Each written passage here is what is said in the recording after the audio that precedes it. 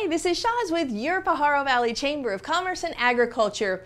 Today we're here at Flowers by Toshi. Toshi's has been doing our floral arrangements in this area for decades, and we just want to say thank you to them for doing such quality work.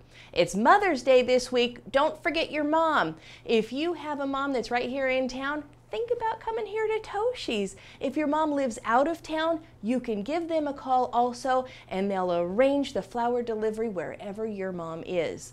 Whatever you do for your mom for Mother's Day, I just want to encourage you to shop local. This is Salute to Small Business Week, and we just want to encourage you. Here's a few ideas.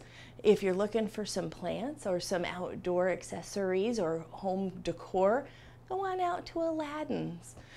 La Esquina at 152 also has beautiful plants for mom. Speaking of that, we're having a ribbon cutting there this Thursday from 5 to 7. Come on out, enjoy a glass of wine with us, and celebrate their grand opening. Another idea, Fatima's Fine Jewelry if you want to get your mom a nice piece of jewelry for Mother's Day. If you're going to take her out for a Sunday brunch, we'd like to encourage you, stay local. All right, I got one last thing. It's the Mother's Day run. It's this Sunday, going to be taking place at Ramsay Park. Come on out and, and support the uh, Pajaro Valley Shelter Services. They're a great organization and we want to see you out there.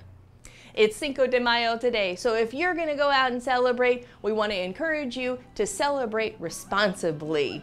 Make it a great day in the Pajaro Valley.